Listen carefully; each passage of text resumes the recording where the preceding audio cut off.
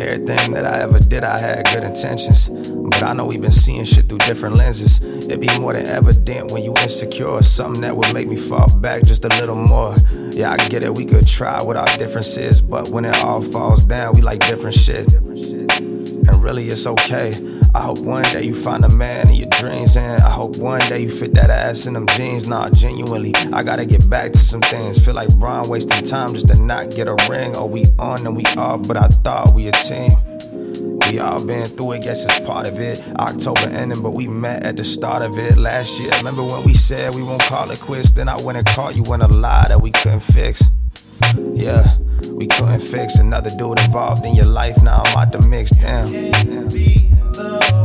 Another dude involved in your life. Now I'm out the mix. Damn. Stay up out them streets,